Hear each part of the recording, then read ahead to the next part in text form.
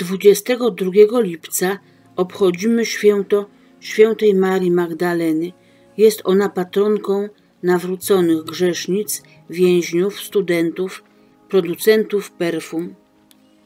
Maria Magdalena pochodzi z niewielkiej miejscowości nad jeziorem galilejskim, gdzie przyszła na świat na początku I wieku naszej ery, jak czytamy z Ewangelii, między innymi, że Jezus wędrował przez miasta i wsie, nauczając i głosząc Ewangelię o Królestwie Bożym, a było z nim dwunastu oraz kilka kobiet, które uwolnił od złych duchów, a także od słabości.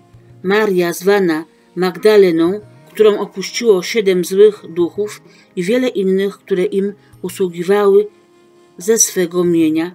Maria Magdalena ukazana jest na kartach Ewangelii w najważniejszych momentach życia Jezusa oraz jest zawsze wymieniana na pierwszym miejscu spośród innych kobiet, które towarzyszyły Jezusowi. Informacji na temat Marii Magdaleny ukazało się naprawdę niewiele. Łączy się z nią następujące zdarzenia, jak uwolnienie od siedmiu złych duchów, a także z nawróconą jawną grzesznicą, która w domu faryzeusza Szymona oblewała stopy Jezusa łzami, wycierała je swymi włosami i namaszczała olejkiem. Podobny gest wykonała także Maria z Betanii, którą również zaczęto utożsamiać z Marią Magdaleną.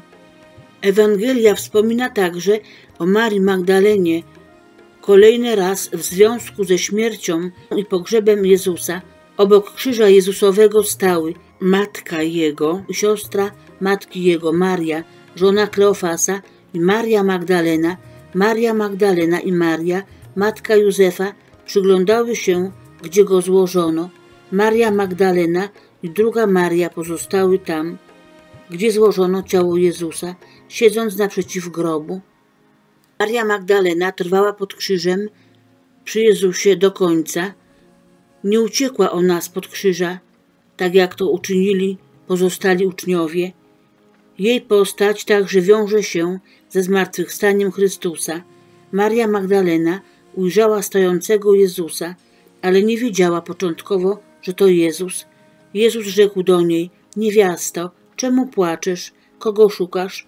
Ona zaś, myśląc, że jest to ogrodnik, powiedziała do niego: Panie, jeśli ty go przyniosłeś, powiedz mi, gdzie go położyłeś, a ja go wezmę. Jezus rzekł do niej: Mario, a ona obróciwszy się, powiedziała do niego po hebrajsku: Rabbuni, to znaczy nauczycielu.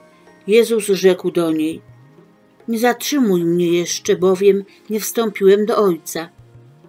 Idź natomiast do moich braci i powiedz im: Wstępuję do Ojca mego i Ojca waszego oraz do Boga mego i Boga waszego.